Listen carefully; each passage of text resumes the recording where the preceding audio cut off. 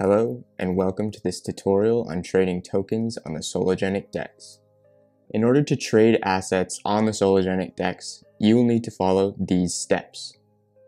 First, you will need to set up a digital wallet that is compatible with the Sologenic DEX. The current wallet options include Xumm and the Sologenic wallet. For the purposes of this tutorial video, I'll be using the Sologenic wallet. Once you have a wallet, you will need to purchase some XRP and activate your wallet to set up your trust lines to the assets you'd like to trade.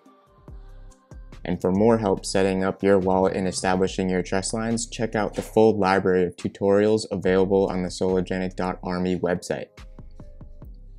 Next, you will need to connect your wallet to the Sologenic DEX. You can do this by navigating to the Sologenic DEX website and following the prompts to connect your wallet. Once your wallet is connected to the DEX, you can start trading assets.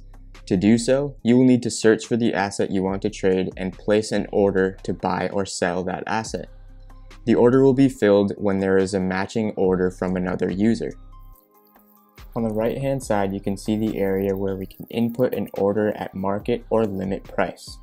For the sake of this tutorial, we will execute a market order because it's the simplest way to trade tokens on the DEX. The market order will immediately and automatically be filled based on the current available orders on the DEX.